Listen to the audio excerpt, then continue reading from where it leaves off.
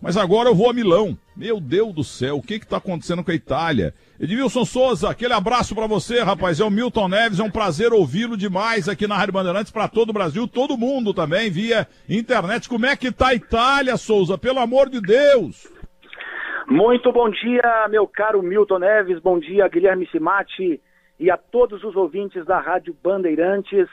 A Itália está parada, nós estamos vivendo uma situação que jamais poderíamos imaginar viver na Itália. Eu dei uma entrevista na terça-feira à Rádio Bandeirantes, voltei a falar com os ouvintes da Bandeirantes na sexta-feira à noite e volto a repetir tudo o que eu disse nestas duas entrevistas anteriores que dei ao Grupo Bandeirantes. A Itália está parada e o sentimento de tristeza nas ruas, na face do italiano, é uma coisa inexplicável. Jamais nós poderíamos pensar que aquilo que quando começou para a Itália, que nós dizíamos que era apenas uma simples gripe, poderia trazer tamanha tristeza e comoção a esta nação, meu caro Milton Neves. Edmilson, é, o italiano realmente é muito forte, né? Dizem que o vinho que, eles, que vocês tomam, um vinho tão bom aí na Itália e tal, e, e a, a, condição física, sem dúvida, historicamente aí dos italianos, a região, tudo isso contribui para que tenha uma longevidade muito grande. O meu, meu, o meu sogro, Hélio Magnoni, de Espessano Albanese, ele tem 92 anos lá em Moçambique. A minha sogra, a minha sogra, Nadia Chame Magnoni, morreu com 93. É, a Itália tem realmente é, o povo de mais idade no planeta? Milton, eu não sei precisar essa informação se é a Itália o país que tem a quantidade maior de anciãos em todo o planeta, mas a verdade é que depois que eu cheguei na Itália, isso tem três anos que moro aqui, é inacreditável você enxergar no italiano com 90 anos, com 92 anos, 93 anos, e eles andando de bicicleta nas praças é um negócio que enche o coração da gente de alegria. Eu penso sim que é muito por causa da alimentação, é muito por causa do vinho também, que é tradição aqui na Itália, mas não é como o Brasil. Aqui na Itália, é tanto que na maioria dos lugares não tem o que nós temos no Brasil, que é, aquele, é, é aquela pre, preferência para o idoso, porque aqui se for dar preferência para o idoso, é, acaba não existindo, porque é muito idoso de verdade que nós temos na Itália, muito forte eles, e é, a Itália, o italiano, uma coisa que percebi também morando aqui na Itália há três anos, eles são muito ligados à atividade física, quando eu estava no Brasil, fazia ali as minhas corridas, andava de bicicleta, só que aqui na Itália a paixão deles pelo esporte é muito maior do que a paixão nossa, a paixão dos brasileiros. Quando nós chegamos, chegamos ainda num período de muito frio na Itália, pegamos, pegamos temperaturas abaixo de zero e inacreditável ver pessoas correndo às seis da manhã, às sete da manhã,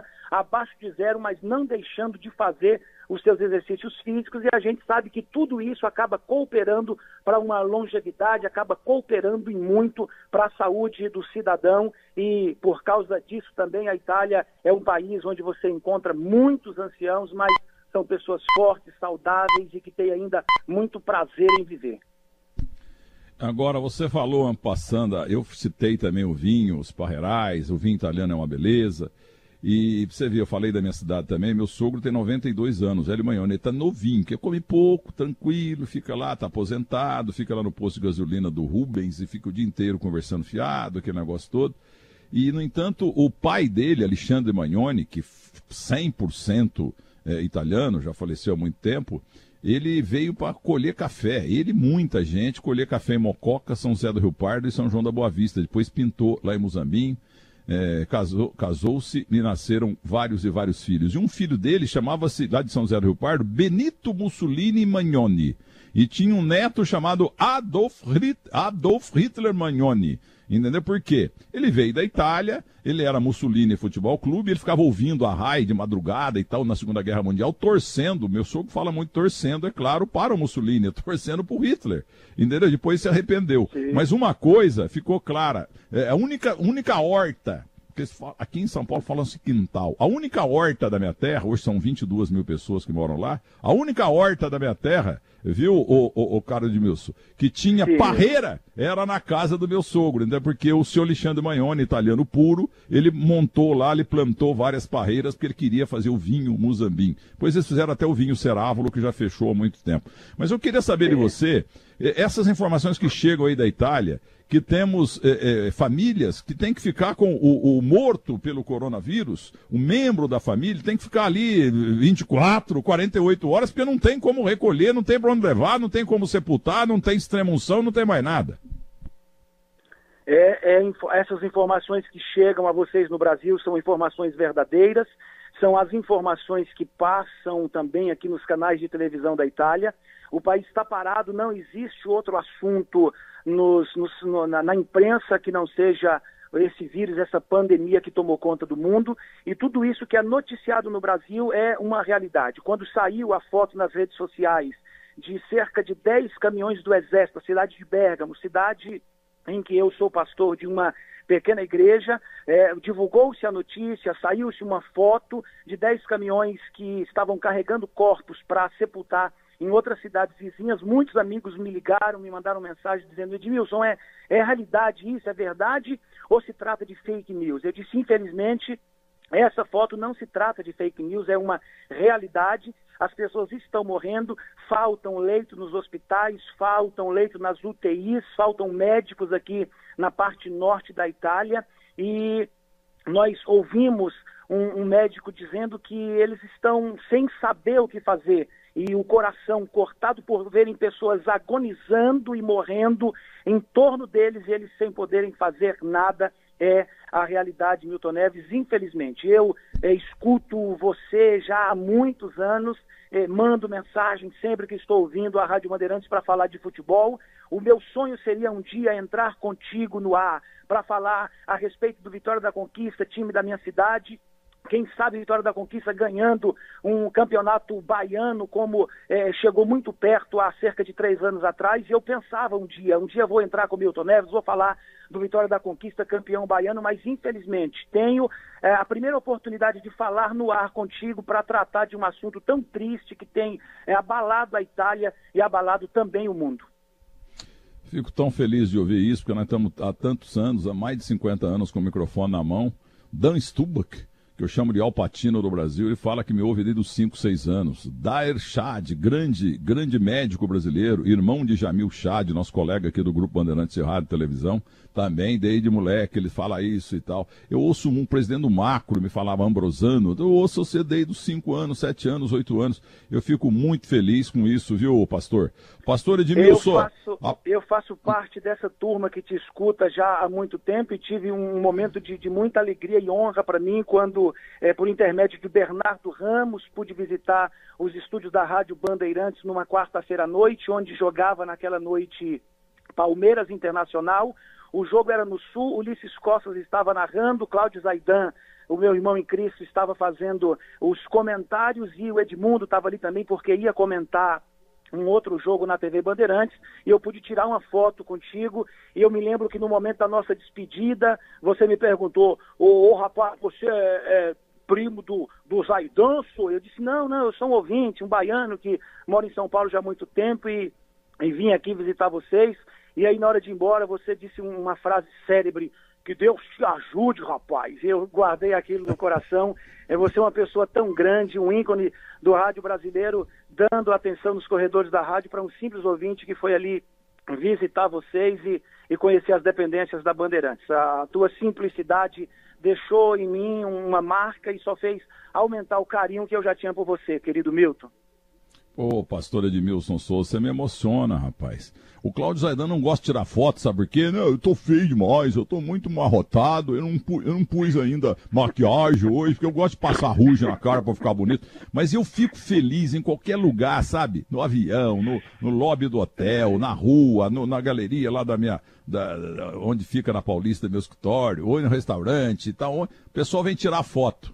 Pensa, mas você, você tem uma paciência, você, amigo, é a maior alegria tirar foto com vocês. Porque o dia que pararem é. de pedir, o, o, dia que ninguém mais quiser tirar foto comigo, é que eu já acabei. Entendeu? Então, é verdade, Edmilson, pastor, é vou dizer uma coisa pra você, viu? Você me deixou tão feliz que a partir de hoje eu não sou mais Bora Bahia, minha porreta! Agora eu sou torcedor do Vitória da Conquista por causa de você, pastor.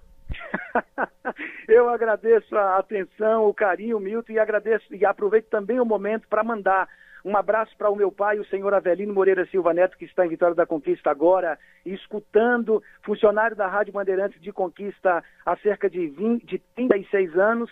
E mando um abraço a todos os, os meus irmãos conquistenses e aproveitando o, a potência que é o microfone da Rádio Bandeirantes, peço aos meus irmãos conquistenses que leve a sério todas as notícias e tudo aquilo que é passado pela imprensa, porque a situação é caótica e eu aqui da Itália não quero ver o meu Brasil, o país que eu amo, vivendo a realidade que nós estamos vivendo aqui na, na Itália, Milton. E bora conquista minha porreta ou vitória da conquista minha porreta, minha cidade natal que eu amo, é para mim a capital do mundo, como é para você, Muzambinho.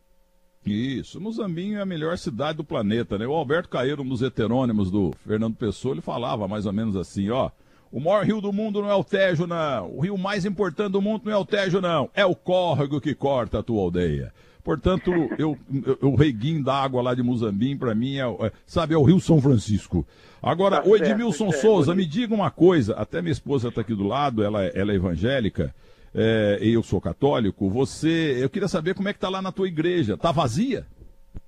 Ô Milton, nós, nós estamos na cidade de Bergamo tomando conta daquela igreja há um ano e meio, os nossos cultos acontecem aos domingos pela manhã, de 10 ao meio-dia, quarta-feira de 8 às 9 e meia da noite e sexta-feira de 8 às 9 e meia da noite. No dia 23 de fevereiro, nós estávamos na igreja por volta das 9 horas para começar, nos preparando para começar o nosso culto, quando é, chegou uma irmã que faz parte da igreja com a máscara e a sua filha também.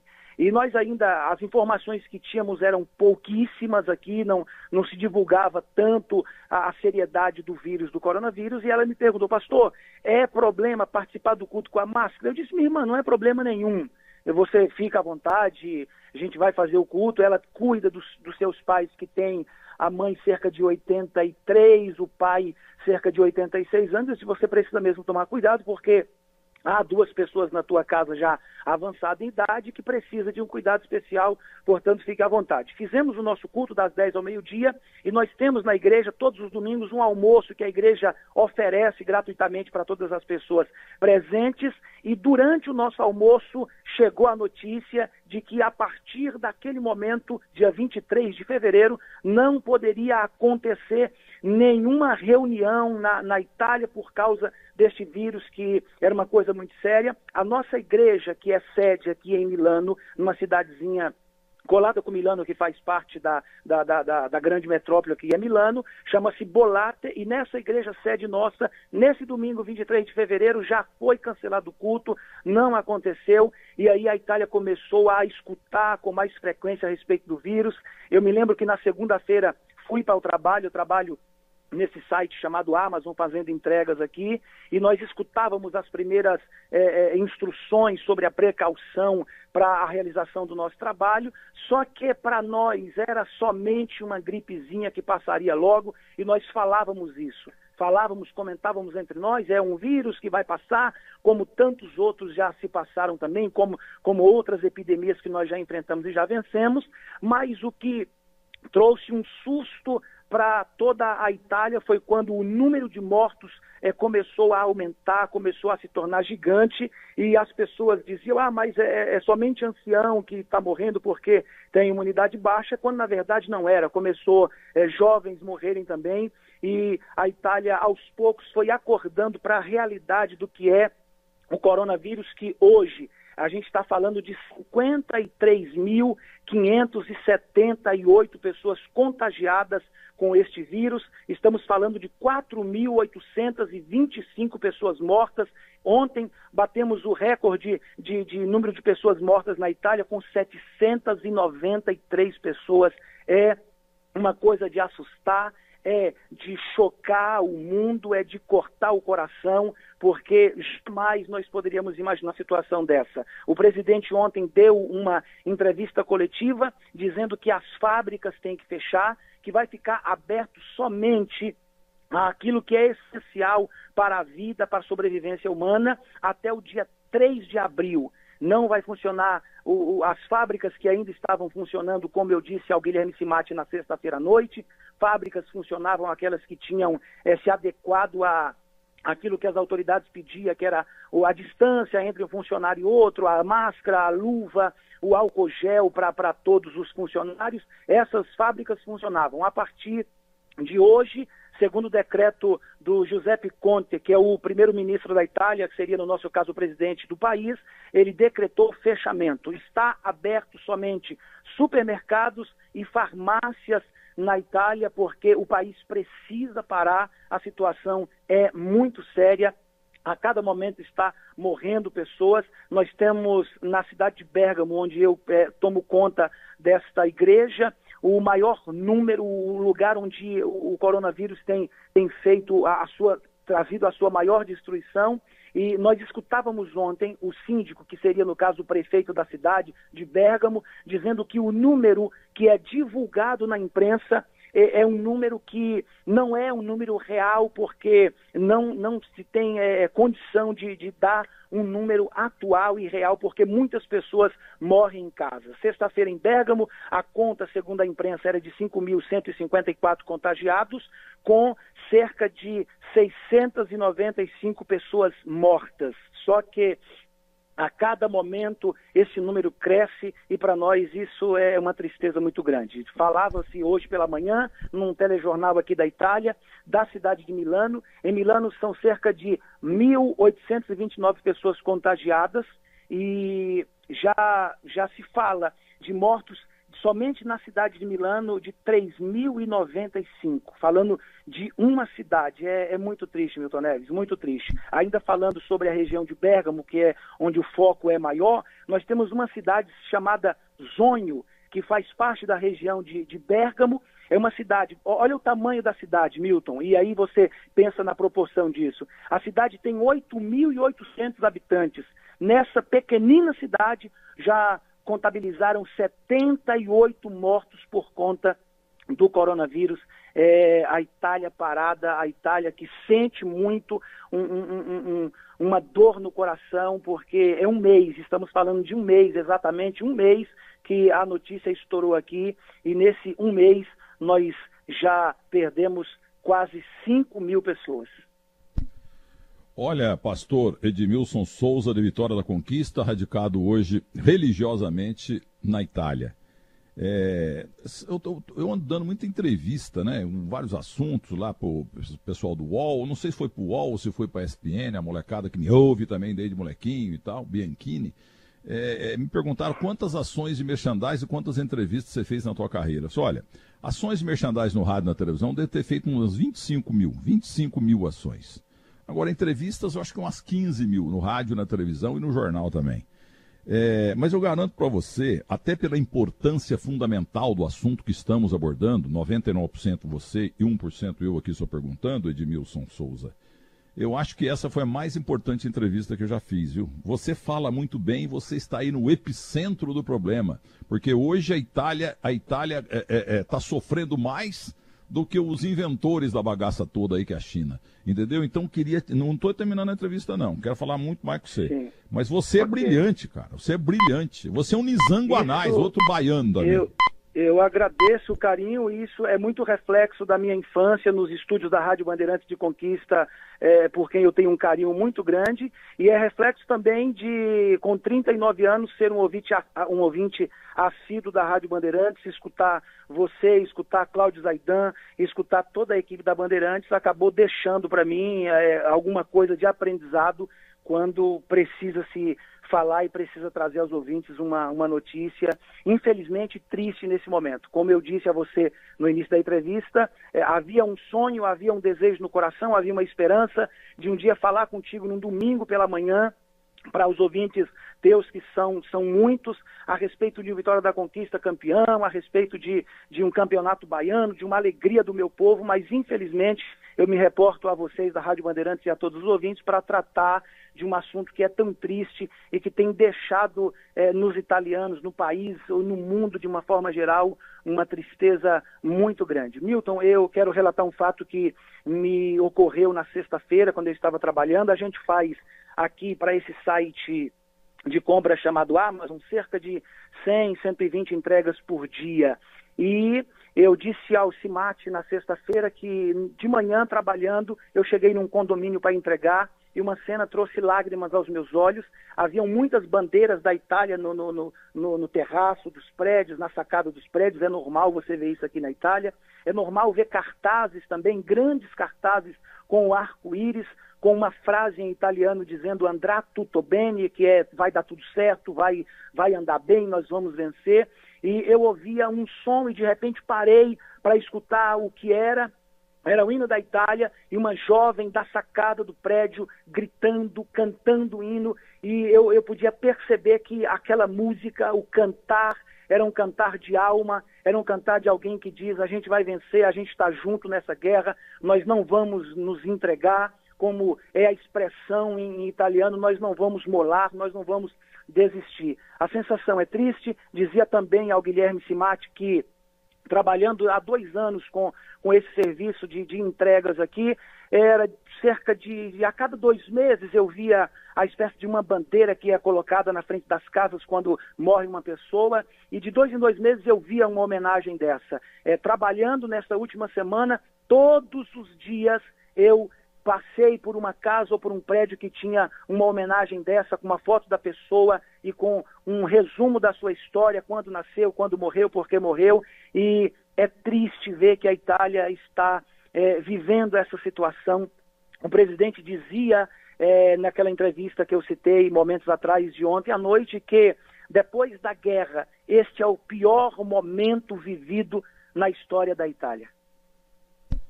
Olha, pastor Edmilson Souza, eu gosto de muita coisa na vida, mas gosto mais de futebol, futebol e futebol. Você falando, cara, eu estou bebendo suas palavras, como nossos ouvintes da Bandeirantes, como se fosse o Pelé para mim falando comigo aqui do meu lado na minha casa. Você é, é, é brilhante e agora eu quero um, um favor teu.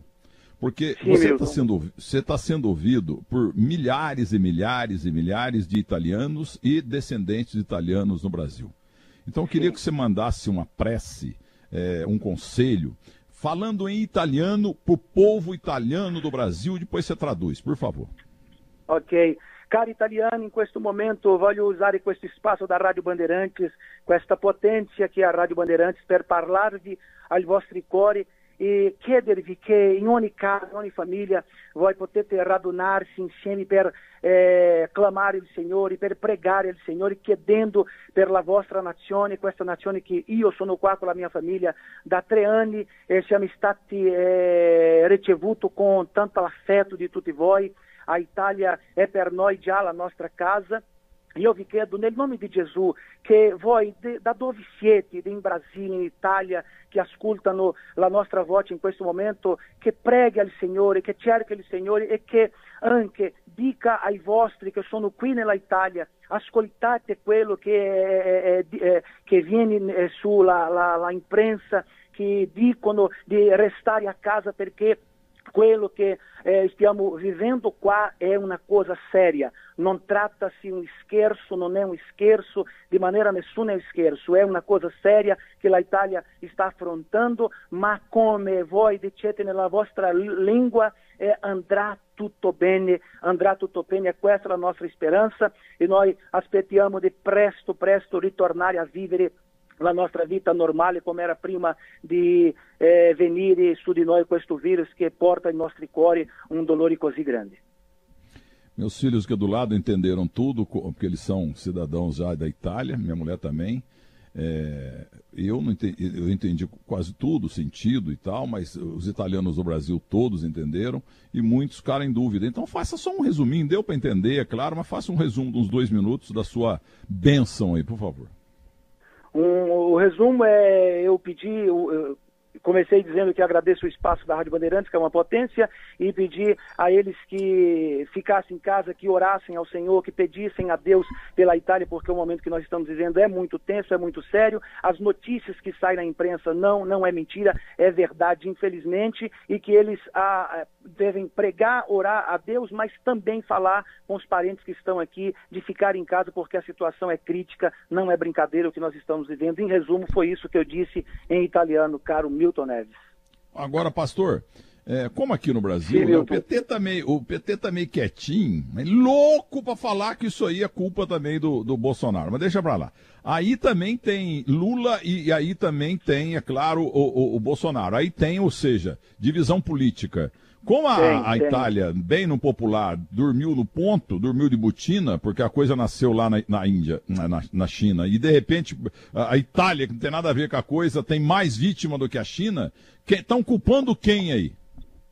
Ô Milton, na, na, de verdade isso foi uma coisa também que me chamou a atenção aqui, vendo os programas de televisão. Nesse momento, a Itália está unida buscando uma solução. Eu esperava que eles tivessem a, a, mesma atitude nossa, do nosso povo brasileiro, que qualquer assunto, qualquer notícia é desculpa para começar uma, uma, guerra política, mas o que a gente vê por aqui é justamente o contrário. Na imprensa é, é, é dada a, aos governantes um espaço para falar, porque eles são as autoridades em eminência no país, mas é dado também um espaço para falar para aqueles que são da oposição. E nesse momento, é, a Itália está unida em busca de uma solução e o espaço que é dado à oposição, que não está no poder, não é usado para críticas, é usado justamente para isso, para alertar o povo. Olha, nós precisamos estar atentos, nós precisamos buscar um, uma solução para toda essa situação que nós estamos vivendo.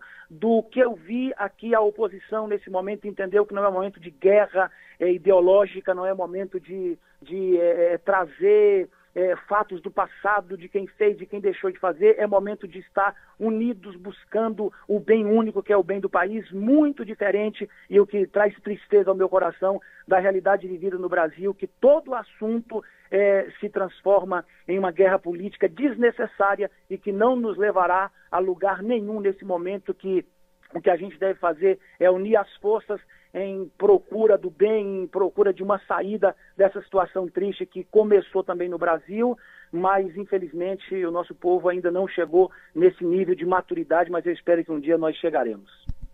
É, o nosso Bolsonaro aqui, é, pelo menos no Brasil, faz um ano e três meses que ninguém rouba. Não tem ladrão no Distrito Federal, entendeu? A ladrãozada tudo saiu. Mas ele deu um azar danado, hein? Com ele pintaram aquelas manchas, o óleo negro no nosso litoral. Brumadinho, pintou também os incêndios, pintaram os incêndios da Amazônia. E agora essa desgraça toda do coronavírus. Tudo na gestão dele. Espero que penso, tudo dê certo. Que... Agora, ele precisa é ter mais calma no falar. Eu falei, é. escrevi, eu estou com mais de 2 milhões de seguidores, 4 milhões de seguidores nas três redes, entendeu? Eu falei, Bolsonaro, fale menos. Não tinha aquela figura da época da ditadura, que era exagerado, mas parcialmente você devia ser como ele. Nada a declarar, nada que ele... Esse negócio Sim. da gripinha que ele falou, isso aí pegou mal para burro, não devia falar. Pegou, e, e, e, e é, pode falar foi, desculpa te interromper, é, eu estava hoje aqui tomando meu café da manhã com a minha família, assistindo um telejornal é, aqui da Itália e passou é, a imagem do presidente no exato momento em que ele diz isso e a imprensa aqui dizia: olha o que diz o presidente do Brasil nesse momento em que nós, italianos, eh, temos cerca de 53 mil pessoas infectadas, quase 5 mil mortos. Olha o que diz o presidente do Brasil. Aí passa a fala do, do presidente Bolsonaro dizendo: é só uma gripezinha e eu não vou parar. Infelizmente, infelizmente, eh, essas coisas vieram acontecendo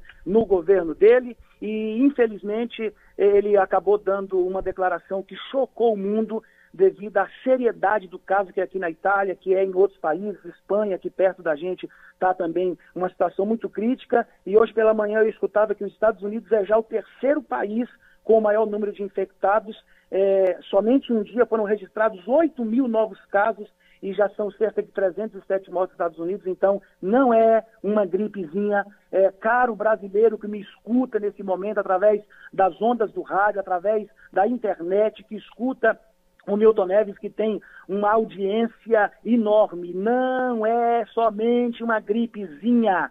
é um, um, vírus que mata e não mata somente velhos, como estão dizendo aí, o que seria já um problema muito grande para todos nós se matassem somente os velhos. Seria um grande problema já, mas não é realidade. Morrem-se jovens também, morreram jovens de 21 anos, de 30, de 35. Eu tenho um colega do serviço que perdeu o tio com 54 anos, tem um amigo nosso, irmão da igreja, que está com 52 anos, é, numa UTI, passando muito mal também.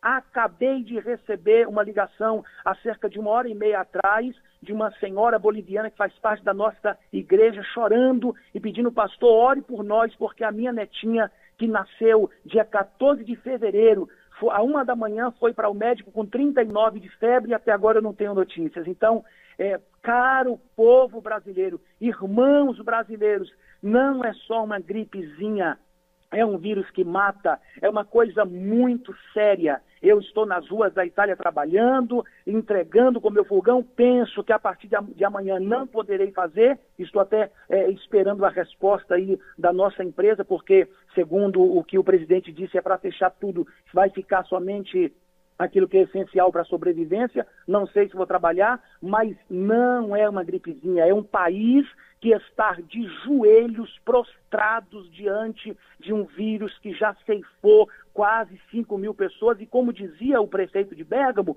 estes números são números daqueles que foram aos hospitais, são números que é, foram é, contabilizados porque fizeram um exame, porque deram entrada no hospital. E quantos estão a casa? Quantos morrendo a casa e que não puderam e que não tiveram tempo de receber um atendimento médico? Não é hora de ir para mercado, não é hora de estocar nada em casa, não é hora de se preocupar com álcool gel, porque, como eu dizia na sexta-feira para o Cimate, para a Bruna, Bruna Barbosa, álcool gel não cura, se a pessoa for infectada, ela não vai ficar curada passando álcool gel, bebendo álcool gel, fazendo lá o que for com álcool gel. Não é momento de fazer aglomerações, não é momento de fazer como algumas pessoas faziam aí no Brooklyn. Na sexta-feira nós tivemos notícia através da Rádio Bandeirantes, as pessoas no happy hour, no bar. A coisa é muito mais séria do que nós pensávamos na Itália, é muito mais séria do que as pessoas pensam no Brasil.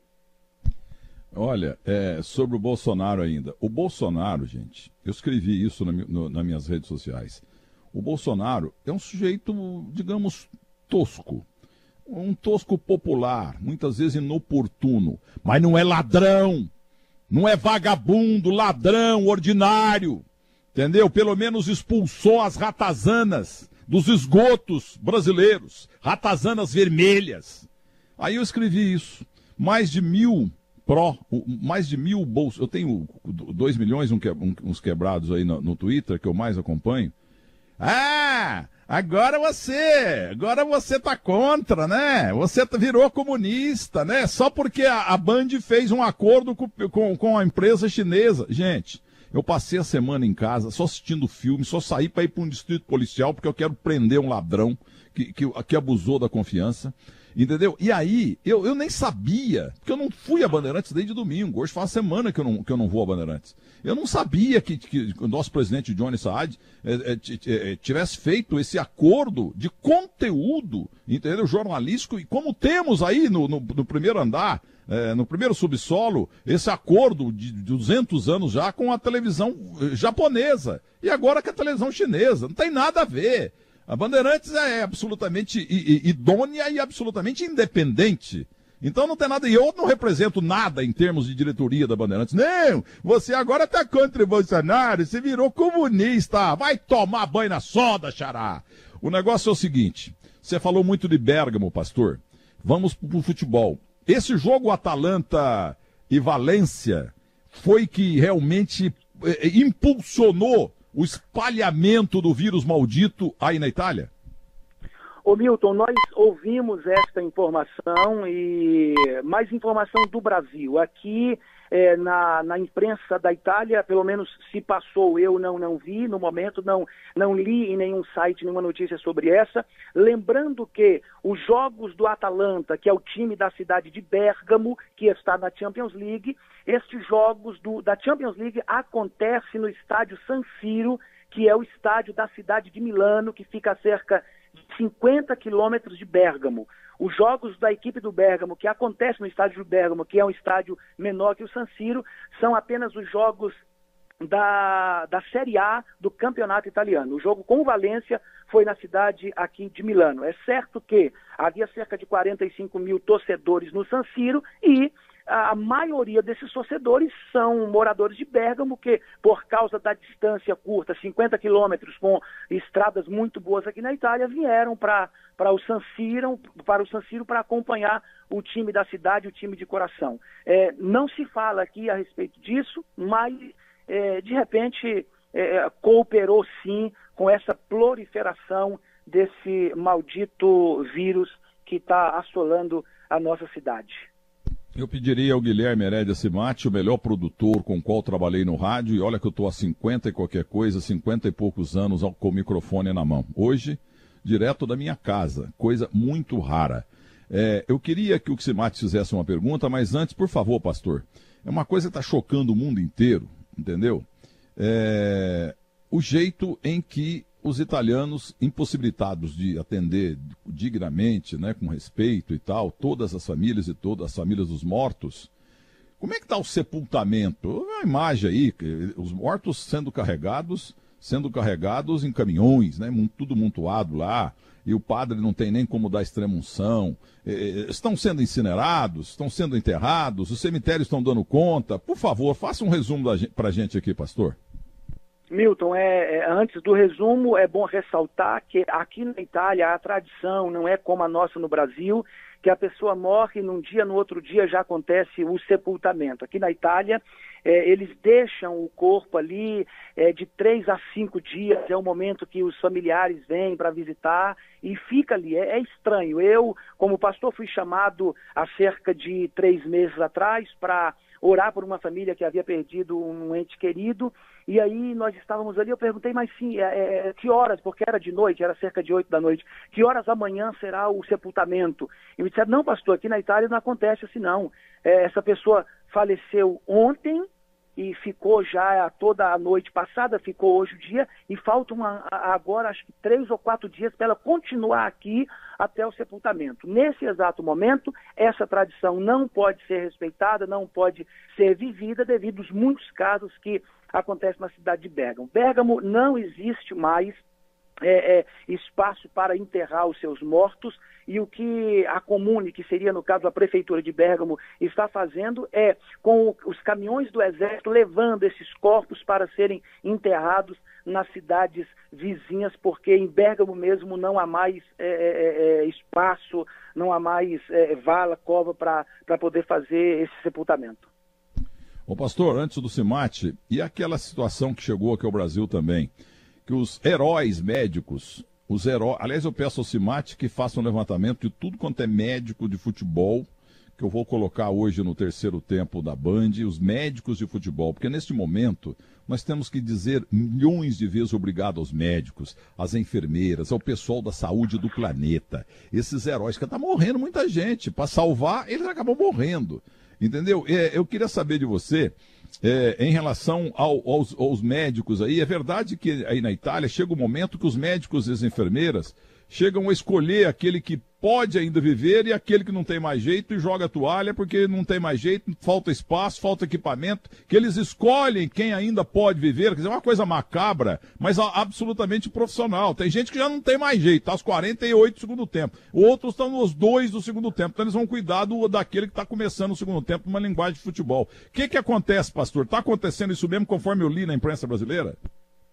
Milton Neves, na quarta-feira, isso é, começou a ser passado aqui nas redes sociais e de repente muitas pessoas diziam é fake news, não tem condição, não pode ser, não é verdade, quando de repente apareceu na televisão exatamente isso, um médico dizendo que eles chegaram ao ponto de não poder socorrer todas as pessoas.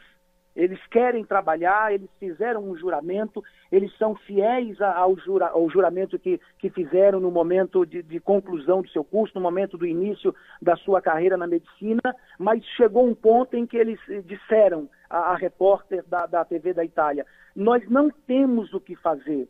A gente é muita gente, nós não conseguimos atender a todos, a gente é, precisa. É uma coisa que choca os nossos corações, mas não dá para atender todo mundo. Aqui na parte norte da Itália é o lugar onde a epidemia é, é trouxe é, maiores números mortes e todos é, é, os infectados, o número maior está aqui na parte norte, e eles diziam a respeito disso, não, não dá para atender todo mundo. E o que, que a gente vai fazer? A gente vai atender aqueles que aos nossos olhos ainda têm alguma esperança, e o que o médico dizia é, é duro, está aqui cercado de pessoas agonizando. Foi essa a palavra que ele usou. Agonizando no momento da morte e a gente está de mãos atadas, não podendo ajudar todo mundo. É verdade, infelizmente, é verdade. Não é uma notícia de hoje, domingo, de ontem, de sexta-feira, não, Milton Neves. É notícia aqui na Itália desde a quarta-feira já. Essa realidade enfrentada pelos nossos médicos é normal. Quando você liga a televisão, vê muitas chamadas dos enfermeiros, e a gente fala médico, mas está falando a respeito de, de toda a classe, não só dos médicos, os enfermeiros também, o, os técnicos em enfermagem. É normal é, acontecer chamadas na TV com essas pessoas é, com fotos deles depois do expediente, porque muitos deles, Milton, não podem voltar para casa. Como faltam profissionais, eles ficam no hospital, eles dormem ali, eles fazem as suas refeições ali, continuam ali para não ter que se deslocar até a casa e depois voltar. Depois do expediente, depois de muitas horas de, de serviço, eles tiram a máscara. Milton Neves, é triste a imagem. Você olhar para a cara de uma jovem enfermeira, para a cara de uma jovem doutora e ver é, é, quase que a sua pele cortada pela máscara devido à quantidade de horas que ela passou com aquilo no rosto, trabalhando, se doando para tentar salvar vidas. Choca o coração. É, é, muito triste ver isso aí. Nós estamos aqui aguardando, porque disseram que cerca de mil médicos com enfermeiros, técnicos e enfermagem estão vindo do sul para poder ajudar os daqui do norte, porque a situação aqui é caótica, é crítica, Milton. Ora, pastor, você é um homem rádio, você é um homem jornal, você é um homem internet, você é um homem televisão. É, mas se você pega tá colocando... a maioria dos seus, dos seus ouvintes vai fazer a mesma coisa e falar do mesmo jeito, porque ouvir a Bandeirantes é uma grande escola, Milton. Você nos coloca dentro dos hospitais, dos cemitérios e dos prontos-socorros, tudo daí da Itália. E o Guilherme Simati, que vai fazer uma pergunta a você, ele é italiano, Guilherme Herédia Simati Pinto Júnior, com descendência espanhola É, aqui na também. Itália seria chamado de Timati. Timati. Ele queria contar até uma coisa, ele tem a avó dele, a avó dele que mora aqui em São Paulo, ela tem 90 para 91 anos, Dona Teresa.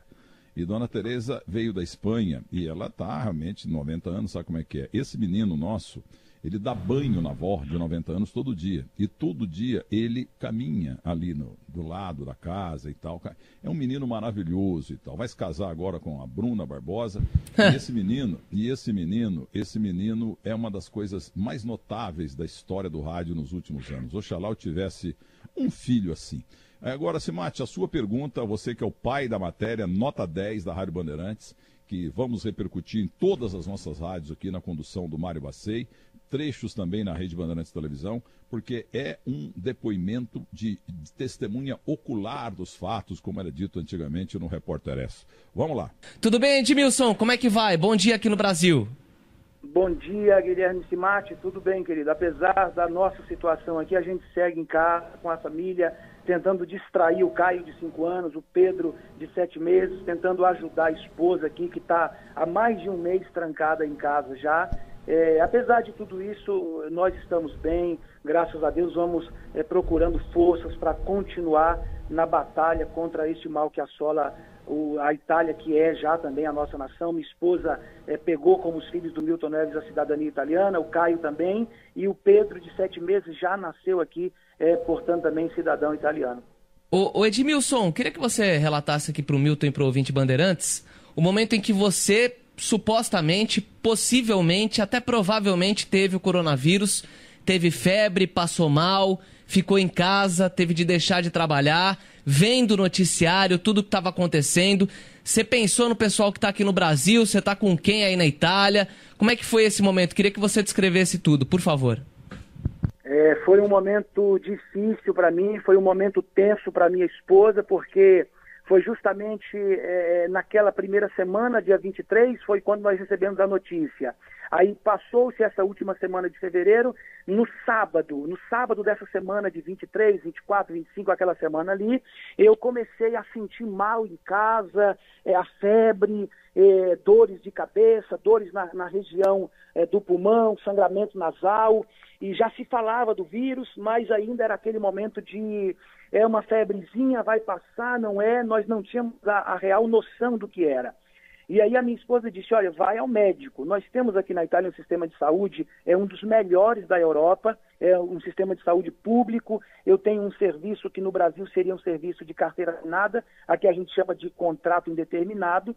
E eu disse, olha, eu vou para o médico e de repente pego alguns dias para estar tá em casa para repousar. Isso no sábado. No domingo eu já levantei muito mal, e disse, Natália, a situação é, é, um pouco é, preocupante porque eu estou a cada momento piorando.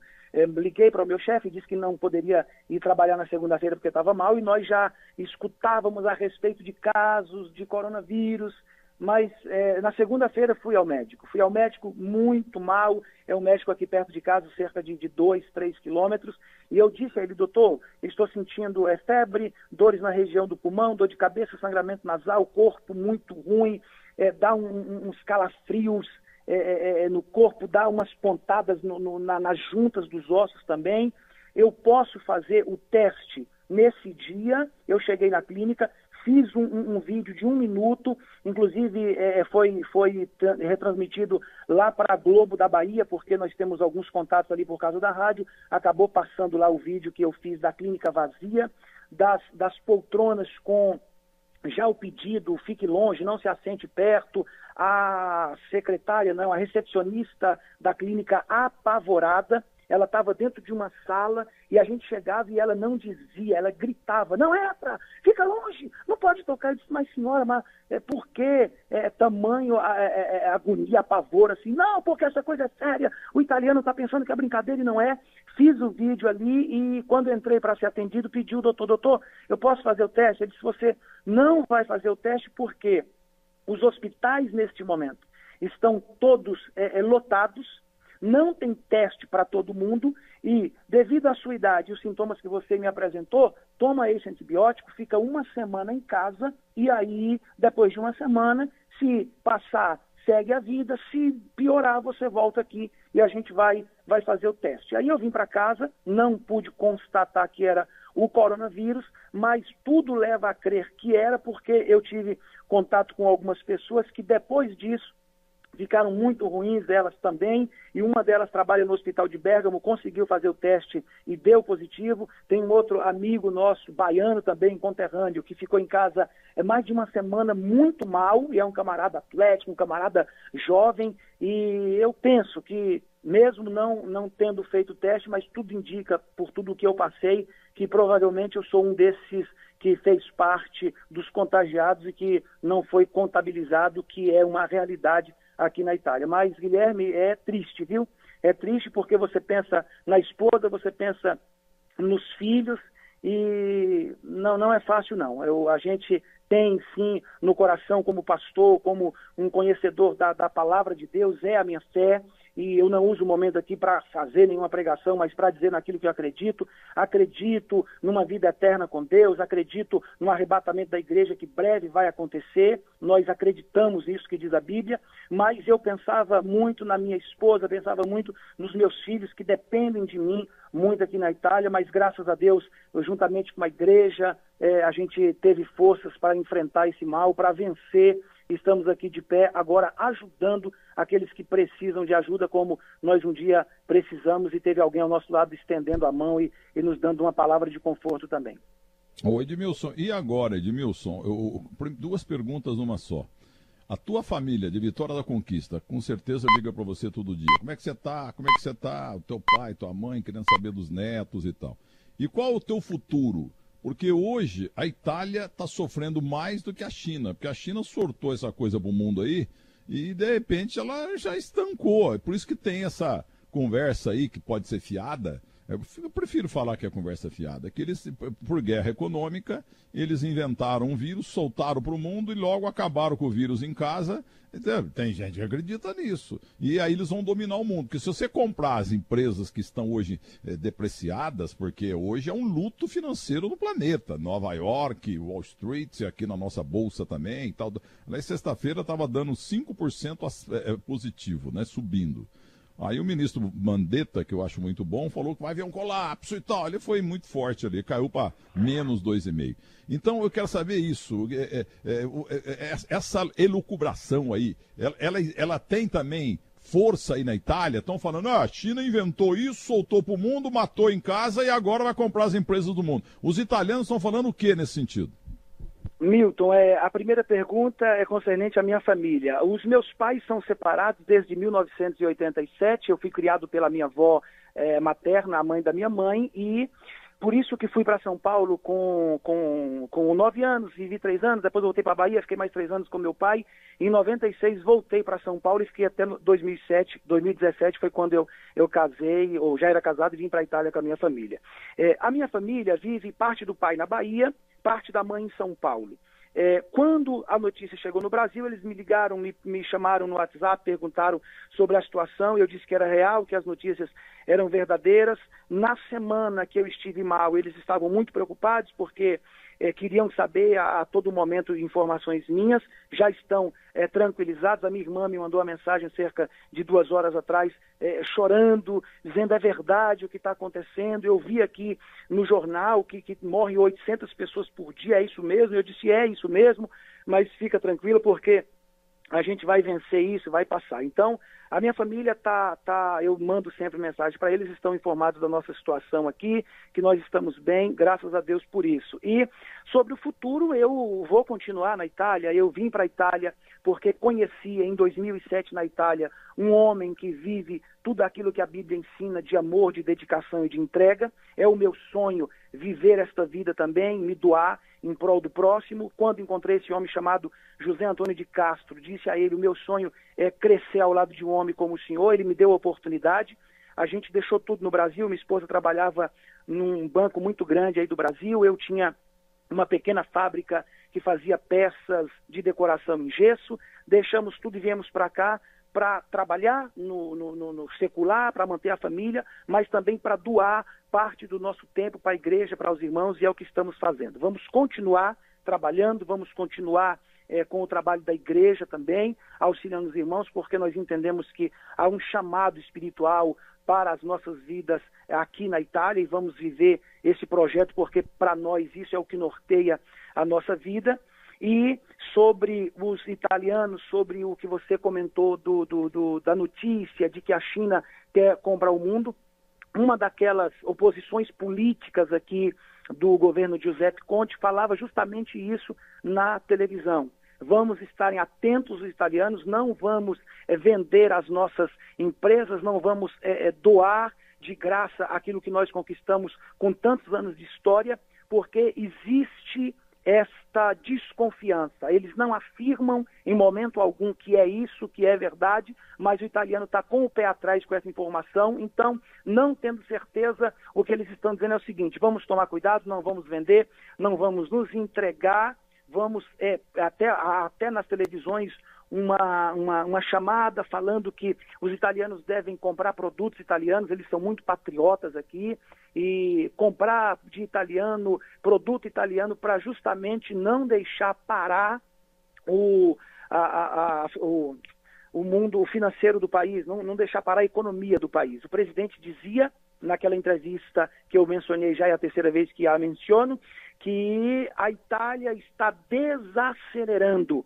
mas não está parando, não está estacionando e os, os italianos estão, estão entendendo essa realidade e o pedido é de para comprar de italiano, comprar produto italiano e ficarem atentos para esse possível golpe que pode existir, mas ninguém confirma, Milton Neves, é somente uma especulação, mas é, eles estão já atentos para tudo isso.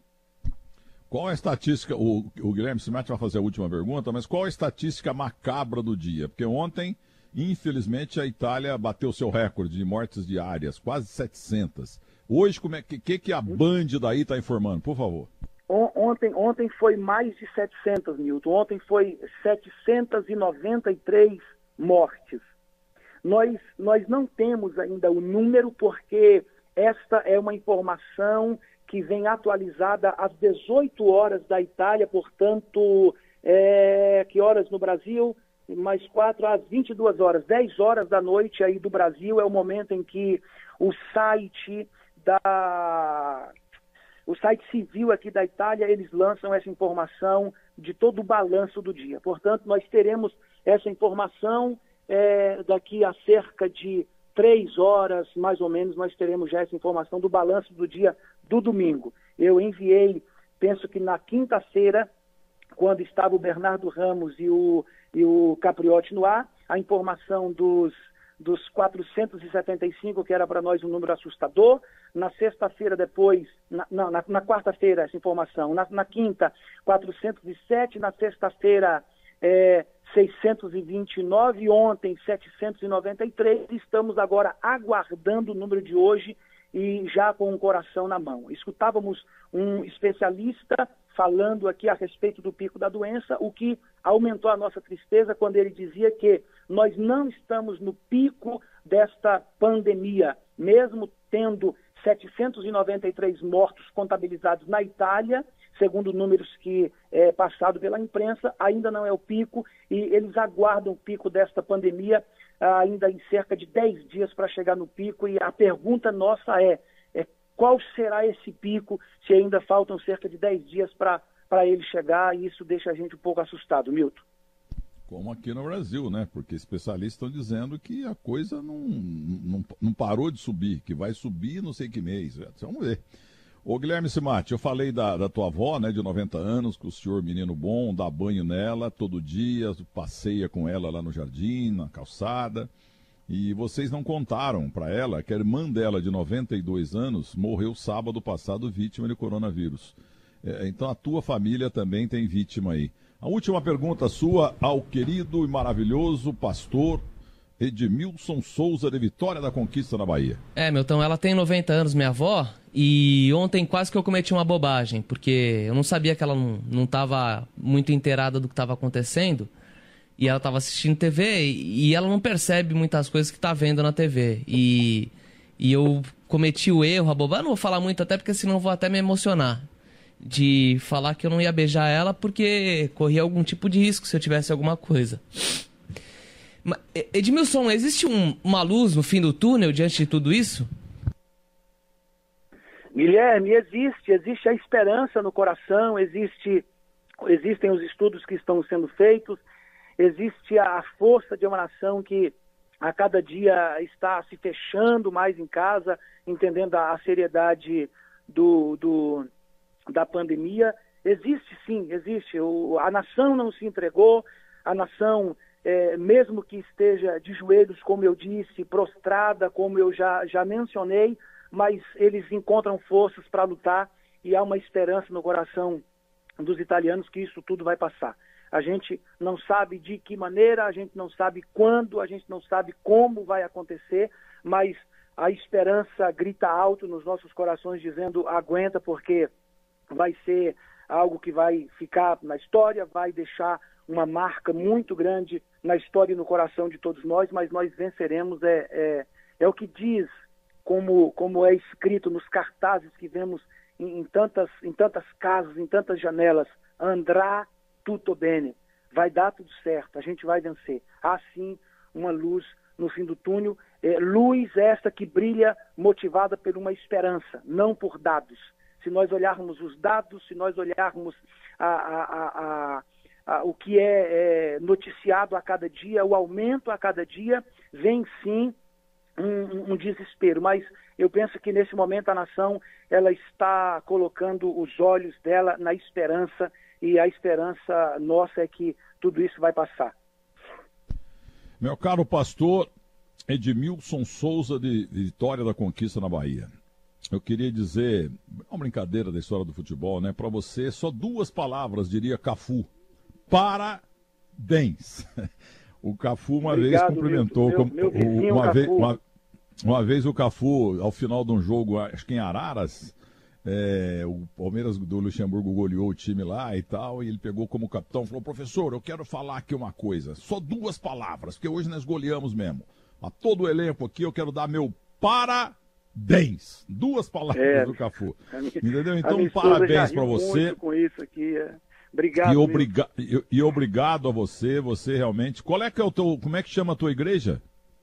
A minha igreja é a Assembleia de Deus, é uma igreja que tem a sede no Rio de Janeiro, em Madureira, e a nossa igreja, que é líder dessa da Itália, é de Volta Redonda, e aí nós temos aqui em Milão a igreja sede, temos espalhado pela Europa é, uma porção de igrejas, igrejas que ainda estão vivendo aquilo que o Senhor ensinou, que é vivendo o amor, que é pregando não ao apego ao dinheiro, ao apego aos bens materiais, procurando viver todos os ensinamentos da palavra de Deus. A gente está aqui lutando e pregando aos italianos que o Senhor é bom, que é maravilhoso e que tem uma vida eterna que nos espera e nós acreditamos nisso, Milton. E eu te peço desculpas aquele dia que você esteve aí no, nos estúdios da Rádio Bandeirantes. Um estúdio estava em reforma, então a porta ficou apertada e o Ulisses Costa entalou na porta. Entalou, não passava, devido ao volume que ele carrega, não passava. Aí o Zaidan puxou e ele acabou escorregando e bateu na tua canela. Então você desculpa, mas o Ulisses Costa ele, não, não é qualquer pedacinho que, que, que, ele passa, não, porque ele realmente ocupa muito espaço, viu? Um grande abraço, um pouco de bom humor no final, porque você deu uma entrevista que para o país e nós vamos reprisar. Um abraço para você. Eu agradeço, eu agradeço o carinho. Milton, eu tenho 30 segundos para mandar alguns abraços. Du, du, du, duas horas para você, vai, para mandar abraço. Não, eu, Como eu, eu Maguila fazia. Rápido.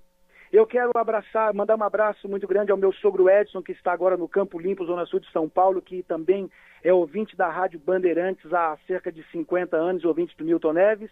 Abraçar minha sogra Marisete, a dona Dileta é, a avó da Natália, que é italiana, que saiu aqui de Vêneto, e por isso a minha esposa tem o documento italiano. Quero abraçar todos os meus amigos, irmãos e família do Jardim Ângela, Capão Redondo, onde eu cheguei pela última vez em 1996 e cresci ali. Quero abraçar o meu povo de Vitória da Conquista, capital do mundo para mim, todos os meus parentes em Lucaia, Planalto, toda, toda aquela turma. E dizer ao povo brasileiro, é, queridos, a coisa é séria, se cuidem é, fique em casa, obedeça tudo, todas as restrições que são pedidas, porque tudo isso que está sendo pedido é para o bem da nação. E você, você, caro brasileiro, é responsável pela vida do teu irmão, da tua família e daquele que vive em torno de você. Milton Neves, um grande abraço, foi um prazer falar contigo mesmo, é, tendo que trazer notícias tão trágicas, mas eu espero um dia poder retornar para falar